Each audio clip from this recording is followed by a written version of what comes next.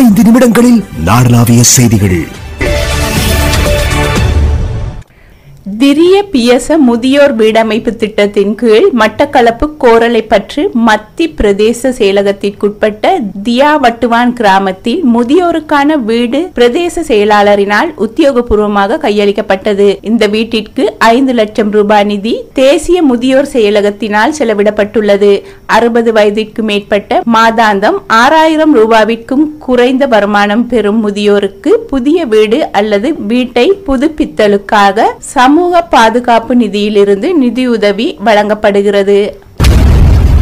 கிழக்கு பல்கலைக்கழகத்தினால் முன்னெடுக்கப்படும் கல்வி மற்றும் சமூக அபிவிருத்தி சார்ந்த நடவடிக்கைகளின் அடுத்த கட்டம் சீன மக்கள் குடியரசின் யுனான் மாகாணத்துடன் இணைந்து செயல்படுத்தப்பட உள்ளது இதற்கான கலந்துரையாடல் கிழக்கு பல்கலைக்கழகத்தின் உபவேந்தர் பேராசிரியர் பள்ளிபுரம் கனகசிங்கம் தலைமையில் யுனான் மாகாண பிரதிநிதிகளுடன் கிழக்கு பல்கலைக்கழகத்தில் இடம்பெற்றது. பிராந்திய அபிவிருத்தியை மையமாக கொண்டு யுனான் பல்கலைக்கழகத்துடன் புரிந்துணர்வு ஒப்பந்தம் ஒன்றை ஏற்படுத்துவதன் மூலம் குறிப்பாக கல்விசார் ஆசிரியர் மற்றும் மாணவர்கள் பரிமாற்றங்கள் இணைந்த ஆராய்ச்சிகள் ஏனைய சமூக பொருளாதார அபிவிருத்தி செயற்பாடுகள் இதனூடாக செயல்படுத்த உள்ளன முல்லைத்தீவு மாவட்டத்தின் மதவளசிங்கம் குளம் மற்றும் முறிப்பு குளங்களில் நன்னீர் மீன் குஞ்சுகள் விடப்பட்டன. நிகழ்வில் முல்லைத்தீவு மாவட்ட அரசாங்க அதிபர் கே. விமலநாதன் பிரதம அதிதியாக கலந்து கொண்டார். அதன்படி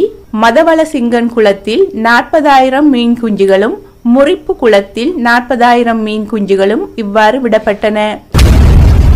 வறுமை கோட்டிற்கு உட்பட்ட தெரிவு செய்யப்பட்ட மக்களுக்கு வாழ்வாதார உதவி திட்டம் வழங்கும் நிகழ்வு முல்லைத்தீவு மாவட்ட பிரதேச செயலகங்களில் நடைபெற்றது. புதுக்குடியிருப்பு ஒட்டுச்சுட்டான் கரைத்துறை பற்று பிரதேச செயலகங்களில் நடைபெற்ற இதற்கான நிகழ்வில் முல்லைத்தீவு மாவட்ட அரசாங்க அதிபர் கே. விமலநாதன் பிரதம அதிதியாக கலந்து கொண்டார். இதன்போது வாழ்வாதார வசதிகளில் பின்னடைவை சந்தித்துள்ள மக்களுக்கும் கர்ப்பிணிகளுக்கும் பாலூட்டும் தாய்மாருக்கும் நிவாரண உதவிகள் வழங்கப்பட்டன. பத்து லட்சம் ரூபாய் பெறுமதியான இந்த திட்டத்தில் நூறு பயனாளர்களுக்கு கோழி குஞ்சுகளும் நூற்று அறுபது பயனாளிகளுக்கு விதைகளும் பசலைகளும் வழங்கப்பட்டன.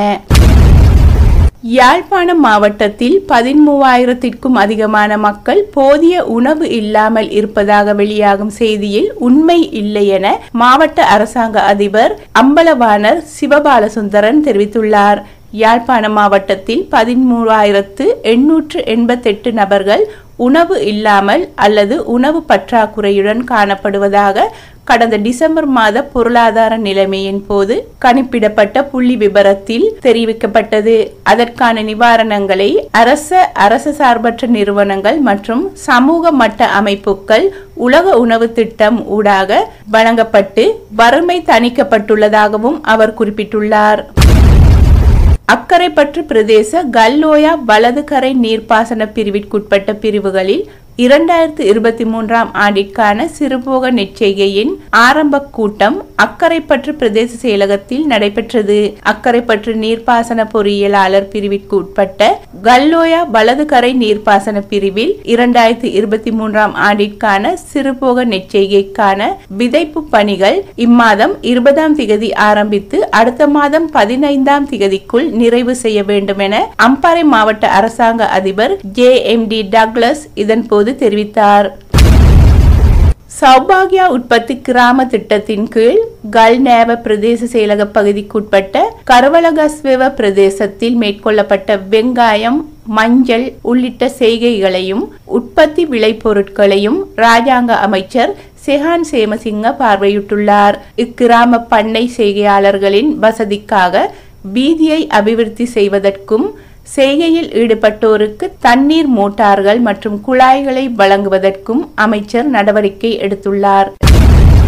குரல் தயாரிப்பு பிரியதர்சினி செல்வதுரை. ஐந்து நிமிடங்களில் நாடளாவிய செய்திகள். நாடளாவிய செய்திகள். இது செய்தி பிரிவின் தயாரிப்பு.